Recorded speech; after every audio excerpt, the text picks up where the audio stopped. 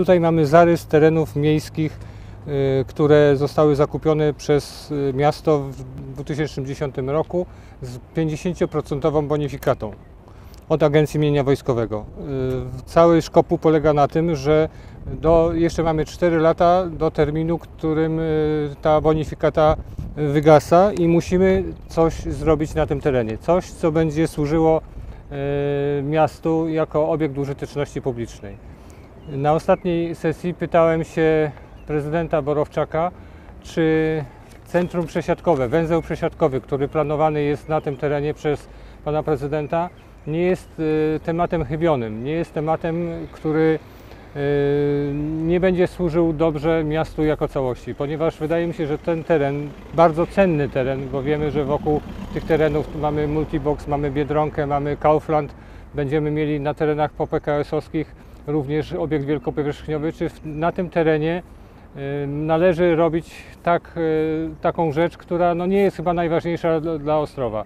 My, y, Ostrowianie, radni, wiemy o tym, że ten teren był przygotowywany pod halę sportową.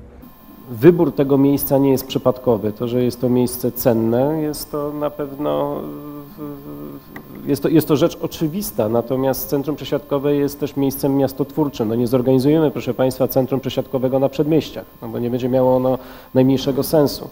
Dlatego znalezienie wolnego placu, pustego placu w centrum miasta y, jest bardzo, y, jest bardzo ważne dla powodzenia takiej, takiej inwestycji. Czy centrum, czy centrum przesiadkowe jest, jest potrzebne w Ostrowie? No proszę Państwa, jeżeli w Ostrowie dzisiaj wjeżdża kilkudziesięciu przewoźników prywatnych, do Ostrowa wjeżdża kilkudziesięciu przewoźników prywatnych, nie ma dworca autobusowego, i tak naprawdę ci przewoźnicy w różnych miejscach mm, e, w, mm, e,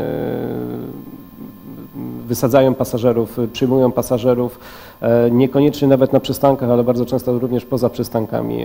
Nie ma, cały ruch podmiejski, dalekobieżny w Ostrowie jest, jest nieuporządkowany. To uporządkowanie jest, jest jak najbardziej konieczne. Powiązanie jeszcze do tego z dworcem kolejowym, a to miejsce, w którym, które zaplanowaliśmy pod centrum przesiadkowe daje możliwość powiązania dzięki kładce dla pieszych i możliwości w przyszłości bezpośredniego zejścia na, na perony jest jak najbardziej miejscem adekwatnym. To, że tego typu miejsca mają dużą wartość, no, na ogół we wszystkich miastach, gdzie w centrach są organizowane centra przesiadkowe, to wartość gruntów użytych po to centrum przesiadkowe ma dużą wartość, bo to są w końcu centra miast. Natomiast, tak jak wspomniałem, no, nikt centrum przesiadkowego na przedmieściach nie będzie, nie będzie budował, bo na to nas, bo nikt by z tego nie korzystał.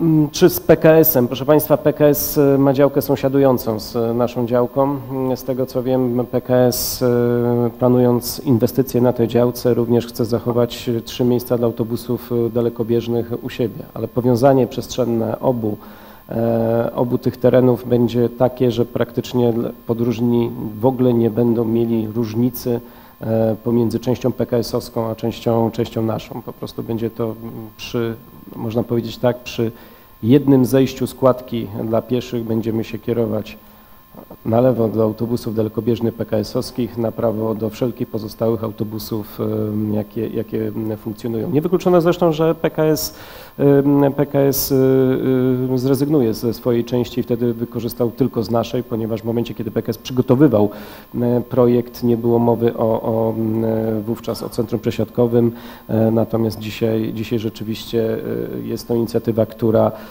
powinna sprzyjać e, całego transportu publicznego.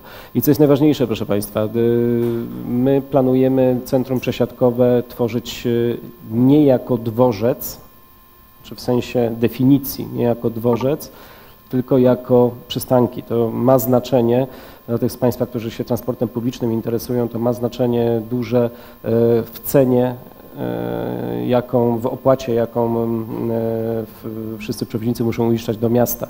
Za wjazd na dworzec jest to opłata wysokości złotówki za każdorazowy wjazd, y, za mm, korzystanie z przystanków jest to 5 groszy.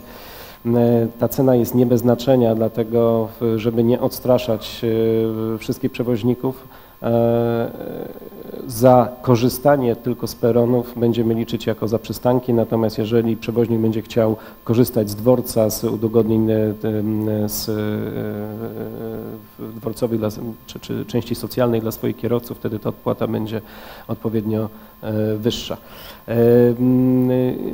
To na pewno powstanie takiego centrum przesiadkowego, proszę Państwa, też bardzo mocno zmieni układ, układ transportowy w mieście, układ transportu publicznego. To ten układ musimy wymusić tak naprawdę na, na przewoźnikach tak, aby autobusy nie blokowały dzisiaj ruchu, zwłaszcza w tych miejscach, których jest, które są atrakcyjne z punktu widzenia handlowego, ale niemożliwe do przyjęcia większego strumienia autobusów. No, na co dzień Państwo widzą, jak wygląda na przykład ulica Głogowska w godzinach szczytu, kiedy autobusy nie mieszczą się w zatoce i, i, i powiedzmy autobusy oczekują, aż z, zrobi się miejsce w zatoce, oczekują na ulicy, blokując ruch praktycznie aż po, po rondo Sybiraków i, i, praktycznie uniemożliwiając normalne przejechanie. Także ten problem, problem znalezienia miejsca był bardzo duży. Uważam, że ta działka jest jak najbardziej adekwatna.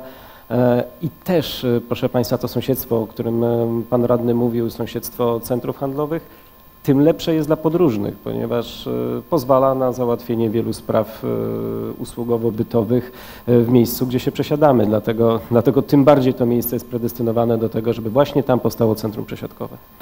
Ten temat hali sportowej ma tylu przeciwników, ilu zwolenników. Natomiast y, mamy taką sytuację, że w 2010 roku, kiedy był teren kupowany właśnie pod kątem budowy hali y, sportowej, sytuacja tego terenu była inna. Było tutaj, y, były tutaj zgliszcza, jak pamiętamy, powojskowe, natomiast w tej chwili mamy teren zagospodarowany przez obiekty handlowe. Co to daje?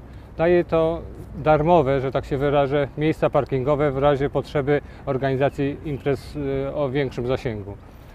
Co mamy również? Jeśli chodzi o halę sportową, kiedyś mówiono o tym, że y, podstawowym takim y, problemem było wykorzystanie tej hali. Czy jest, będzie ona możliwa do wykorzystania i y, żeby miasto nie musiało tak dużo dopłacać do tego. Po pierwsze, miasto dopłaca do bardzo wielu rzeczy. To jest obiekt centro, centrotwórczy i możemy wykorzystać te parkingi, które istnieją e, dla potanienia tego przedsięwzięcia. Jeśli chodzi o wykorzystanie tego terenu, y, tego obiektu, również w tej chwili są rozwiązania architektoniczne takie, które pozwalają utrzymać wielofunkcyjność takiego obiektu. Hala widowiskowa, hala sportowa i hala targowa. Rozsuwane trybuny, zmiana, zmiana nawierzchni. Teraz jest to standard w, dla tych, którzy takie hale projektują. Panie radny, ale czy miasto udźwignie ciężar budowy takiej hali? Skąd y, pieniądze? Czy jest szansa na pozyskanie ich z zewnątrz? Na pewno szanse na pozyskanie z zewnątrz trzeba wszel- wszelkie wykorzystać. Od tego mamy posłów, od tego są różne źródła, natomiast na pewno nie jest to takie proste. Na pewno nie możemy liczyć na to, że pozyskamy duże pieniądze na to. Natomiast ja specjalnie robiłem, y, wnioskowałem jakieś trzy miesiące temu o przedstawienie radnym problemów, tym nowym radnym zwłaszcza, którzy są w tej kadencji, problemów, y, z jakimi się miasto para od y, dłuższego czasu, czyli na przykład to, że musimy zrobić park 600-lecia, to, że musimy zrobić obwodnicę, ulicę Torową, północną ramę komunikacyjną, to, że myślimy o basenie, to, że mamy jeszcze inne przedsięwzięcia. Natomiast również wskazywałem źródło, z którego możemy skorzystać jeśli chodzi o pozyskanie finansów, własnych finansów. Od wielu lat jesteśmy w dyspozycji dużych terenów przy Alei Łowackiego, które w tej chwili wiemy, że już na ulicy, w, tam, w, tamtej, w tam sąsiedztwie tych terenów na ulicy Kujawskiej będą powstawały bloki mieszkalne. Także ten teren ma plan zagospodarowania przestrzennego, pamiętacie Państwo, pod kątem tego osiedla hiszpańskiego. Także to jest kapitał, który mamy. Dlaczego ten kapitał nikt nie myśli o tym, żebyśmy tego nie, nie wykorzystali? Ja sądzę, że uzyskanie kwoty od 10 do 20 milionów jest tam realnie możliwe. Pan prezydent Borowczak obiecał, że y, tym tematem się zajmie, że potrzebna tam jest pewna konsolidacja gruntów. Ja się zapytam na tej sesji, co zostało przez pół roku w tej kwestii zrobione, żeby przygotować te, te, te tereny właśnie pod kątem y, możliwej sprzedaży. Przecież nie wyobrażacie sobie Państwo, że miasto będzie budowało bloki na tak olbrzymim terenie. Przecież to jest nierealne. My budujemy jako MZGM jeden blok tam na 2 czy 3 lata. To musi, być, to musi zostać sprzedane i należy to spożytkować jak najlepiej dla miasta. Czy w tym momencie y, sama idea centrum przesiadkowego upada, czy znajduje Pan jakieś inne ciekawe miejsce, w którym można by zbudować nie kosztem tych terenów bardzo atrakcyjnych? Centrum przesiadkowe jest wymogiem, który musimy spełnić.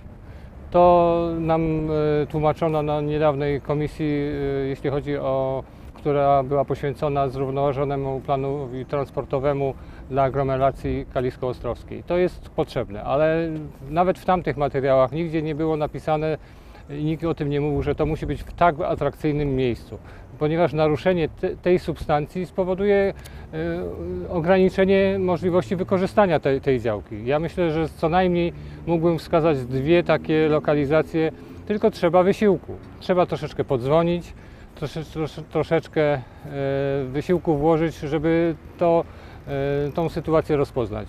Jeden z radnych na jednej z komisji nazwał prezydenta Borowczaka, że pan jest obcy. Obojętnie co by to znaczyło, na ile to było żartobliwe, na ile to było e, sarkastyczne, bo na pewno tutaj nikt nie chciał ubliżyć panu prezydentowi. Natomiast e, wiemy, że pan prezydent nie czuje Ostrowa, bo nie musi tego, nie, nie mieszkał, nie jest mieszkańcem. Natomiast my wiemy o tym, że są tereny, są miejsca, które nadawałyby się do e, na centrum czy węzeł przesiadkowy w innym miejscu skorelowane czy to z, z innymi przewoźnikami. Jeden przykład taki? Myślę, że należałoby współpracować z przewoźnikami, tak jak powiedziałem, czy to PKS, czy Polskie Koleje. To te, te, te tematy są do ruszenia. Myślę, że na sesji jestem w stanie tutaj zaproponować pewne rozwiązania. OK24 TV. Wszędzie gdzie jesteś. Zawsze, kiedy chcesz.